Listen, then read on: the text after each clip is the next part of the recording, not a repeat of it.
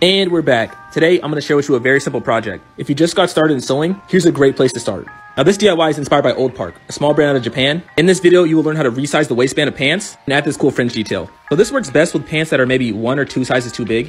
First step is to seam rip off the waistband in the front. You're also to need to remove the belt loops. Then measure how much I want to take off from the front of the pants. It ended up being about half an inch. I trace a line in the middle of the hem to keep it symmetrical. Do this for both sides of the legs. Now cut that bad boy out. Next up, grab some pins and pin the pants together.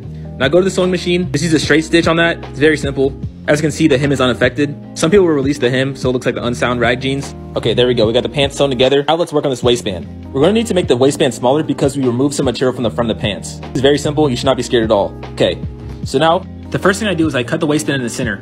I then cut a segment out so that the waistband no longer overlaps. You then open the top and seam rip the top stitching off the waistband. You can see here I'm cutting out the section. Now I open this up, place the correct sides together, sew a straight stitch across them. Now you may need to watch this twice. There's no real crazy origami going on here, but it's kind of confusing to look at. Once you finish, it's to look like this. You simply just put it back on the jeans, sew it back down. It's pretty simple. The last step is to reattach belt loops to the pants. This next step is unnecessary, but I cut off top of the waistband so it frays a little bit more. Adds a pretty cool detail. Once again, it's not necessary. Here again, cutting the top off.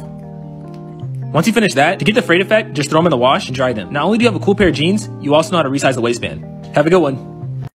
Hey TikTok, we're back with some more clothing flips. Okay, the first thing we have is this yellow t-shirt. Everyone loved that Nike design, so I decided to do it in this really cute flowery fabric I have. I cut it all out, pinned it down, sewed it on, and I ended up cropping it. I think it is so cute. I absolutely love it. I have all these scraps, so I wanted to do this Nike swoosh. I used this rotary cutter from Olfa to cut everything everyone's been asking me, so I pinned that down, I sewed it on. It was really time consuming, but I think it's so cute, this oversized look. I'm so into it. And then this last thing I have is this gray t-shirt. Everyone loved this Nike shirt from my last video, so I wanted to do one that I could sell on my Depop. So I did it in red to switch it up. Um, then I cut it all out, pinned it down, sewed it on. Took so long, my sewing machine kept messing up. But I finally finished it, and it looked like this, but it was still kind of boring. So I decided to ruche it like I did with some of the shirts in my last video. I love it. I'm so into it. And yeah, enjoy. You may think you're winning, but check me. Now this is getting fun. I saw you kissing someone else's tongue. You said that I'm the only one you love.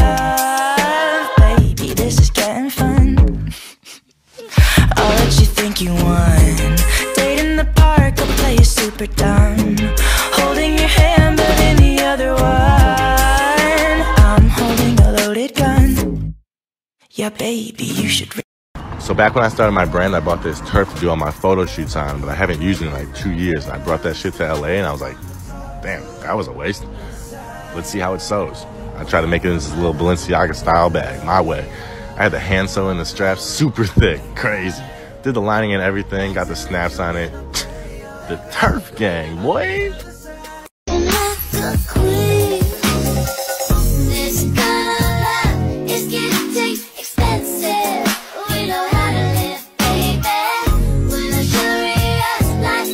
This is how you can make your buttons match all the clothes that you have.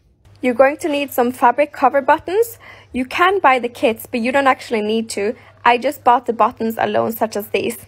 Then you cut out a circular piece of fabric, which is big enough to cover the whole button. I just use pins here to press down the fabric on the underside. When you press down all the fabric, it's gonna look like this. Then take the piece for the underside and I just hammer it down actually. And now all of your fabric buttons can match all of your outfits. Way she make that ass bounce, think I love her. Got that ass in that mouth from a mother. Type to make you bay mad, you in trouble. NBA playoffs, that ass, it's a bubble. Uh-uh, uh-uh, come on, come on, uh-uh, throw that ass back. That ain't the baby, that's my baby. Her friends and her mom hate me. Go. Lay down on the bed, do the cry, baby. Go. She ain't gave me none that puss in a while. She had the boy waiting. Let's make some Harry Styles inspired pants.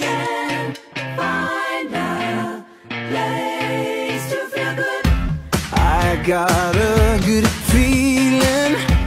I'm just taking it all in. Floating up and dreaming. Dropping into the deep end. Everyone else in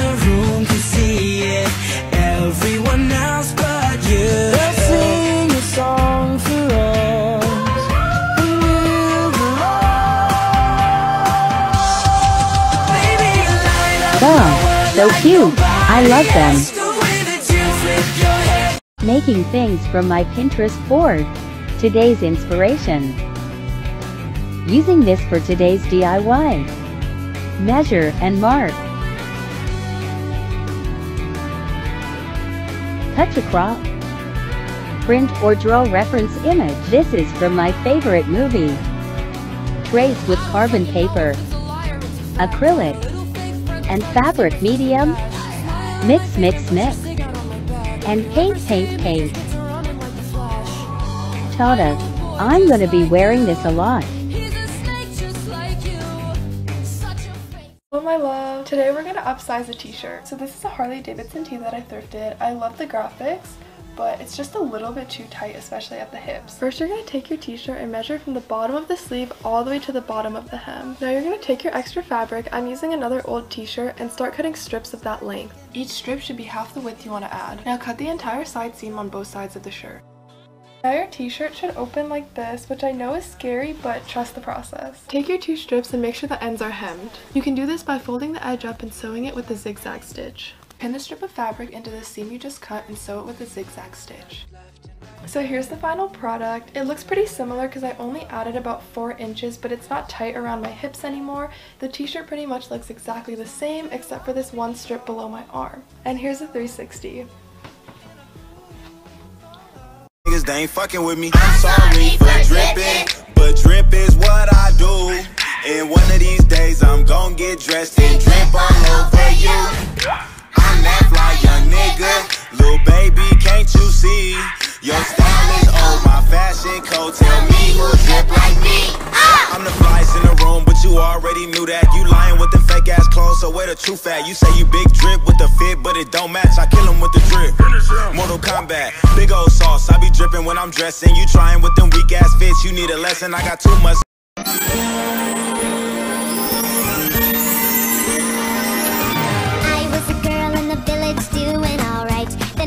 Princess overnight. Now I gotta figure out how to do it right. So much to learn and see.